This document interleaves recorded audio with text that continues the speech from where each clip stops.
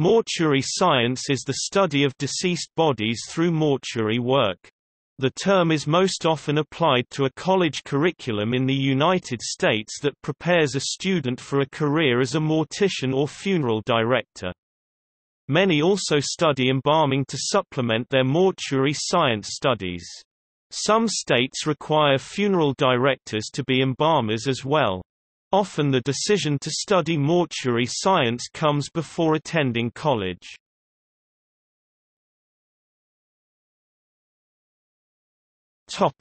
History Funeral directing occurred in ancient times. Most famous are the Egyptians who embalmed their dead.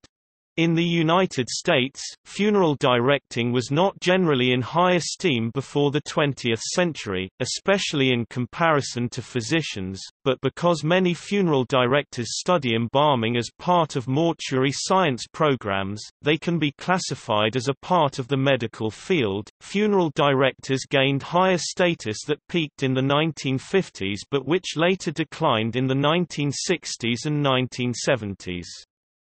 Many reputations were eroded as a result of high-profile exposés on a few rare cases of unethical sales practices and police investigations that followed criminally negligent behavior of some morticians.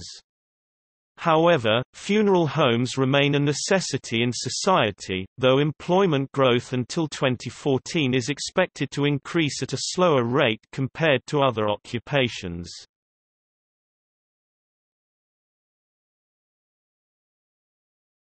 Topic: Training. Degree requirements differ by school and by state. Those wishing to become funeral directors have other requirements that usually include two years of college coursework including studies in mortuary science, one year of experience as an apprentice, and a qualifying examination. College degrees in mortuary science can usually be earned in two to four years. Some community and junior colleges offer two-year programs while universities can offer both two- or four-year programs. The curriculum typically includes courses in anatomy, physiology, pathology, embalming techniques, restorative art, and business management. Suggested coursework or extracurricular activities include those that enhance skills in public speaking and interpersonal communication, as funeral directors should be personable and skilled communicators in their work with grief-stricken clients. More than 30 states have schools that offer mortuary science programs. For example, Illinois, Mississippi, New York, and Texas all have four schools.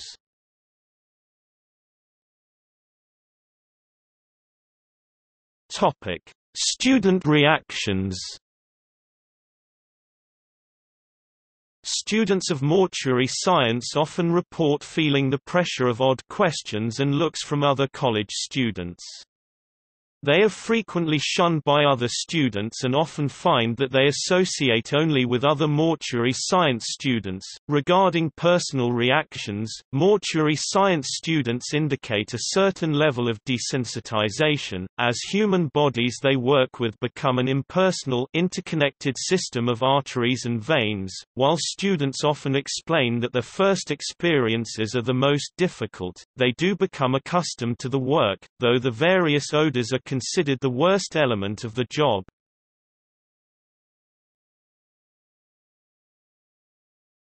Topic: Risks.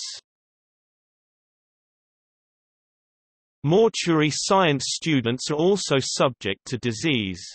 As morticians sometimes work with infectious cadavers, an element of risk is inherent, though considered remote if recommended precautions are followed. They are also subject to formaldehyde exposure during embalming procedures, but that is avoided with strict health regulations. Emotional stress can take a psychological toll on mortuary science students. Students report the strongest reactions when working with the bodies of children. The emotional and mental strains account for a high dropout rate among mortuary science students.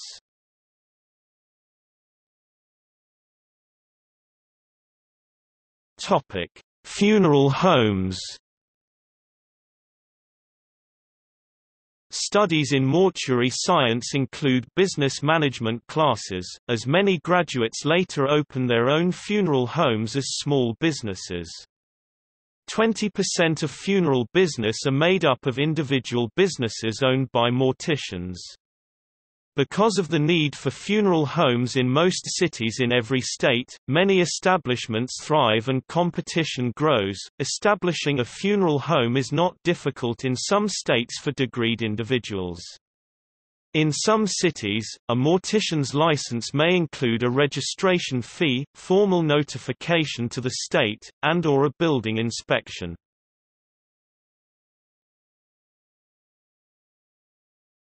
Topic: Facilities Funeral home facilities usually include Wake room, for services and visitations. Preparation room, for embalming and restoration. Merchandise display, caskets and other merchandise that customers may purchase. Privacy room, for the family. Office, for morticians' personal and administrative use. Livery, a garage to keep funeral coaches and other vehicles. Funeral homes usually have staff available 24 hours a day, 7 days a week.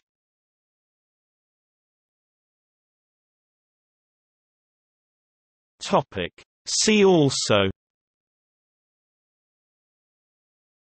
Association of American Cemetery Superintendents Morning Glory Funeral Home Scandal National Funeral Directors Association The American Way of Death, by Jessica Mitford